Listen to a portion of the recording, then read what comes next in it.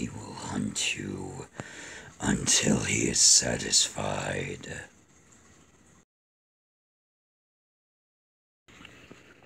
It is no longer just a hallucination.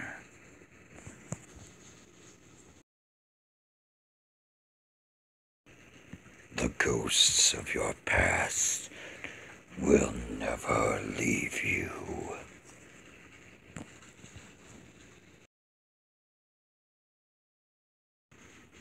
You will never escape.